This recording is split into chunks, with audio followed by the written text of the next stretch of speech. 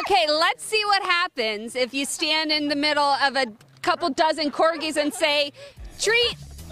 That's a bad trick. That's mean. That's mean. Hey, welcome back to Good Day Sacramento. I'm Molly Riehl, live at Ruff Dog Park and at Johnson Springview Park in Rocklin. What a place to be this morning. We are live with the Sacramento Corgi Pack. It is the coolest club on four tiny little legs. Uh, this is Katie and Amanda. They are the co-founders of the club. I mean, it's pretty straightforward.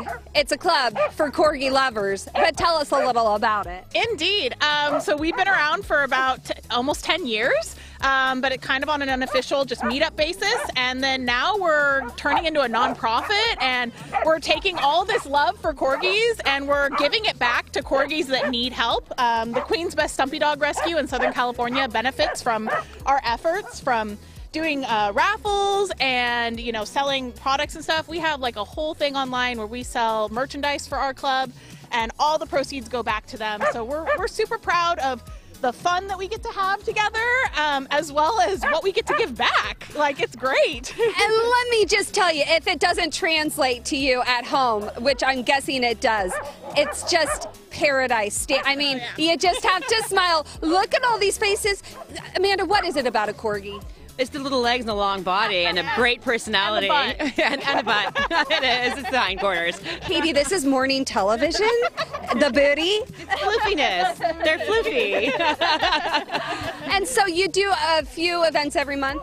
We do almost four events every month. That includes dog park meetups like this one, as well as we have our Corgs and Brews, which is where we meet up at breweries and wineries together. Um, and we also have wiggle walks where we get to go oh walk around in an area together, um, you know, see some sights and have. Um, some corgis are better on leash than they are off leash, so they get an opportunity to join in as well. We we try to be equal opportunists around yeah, here. Yeah. I love that. By the way, even if you don't have a corgi, you can join in the fun, yep. and you can follow on Instagram, which, if you can imagine, is just a bunch of corgi cuteness. So it's that corgi pack. Hey, I do want to try something if you're all willing, because you know corgis are known for herding, right? What happens if we put them down and we just start running? Is that going to be chaos? Oh no! Oh. oh. come on! Come on! Yeah. yeah, you got it! You got it! All right. It's Corgi Chaos.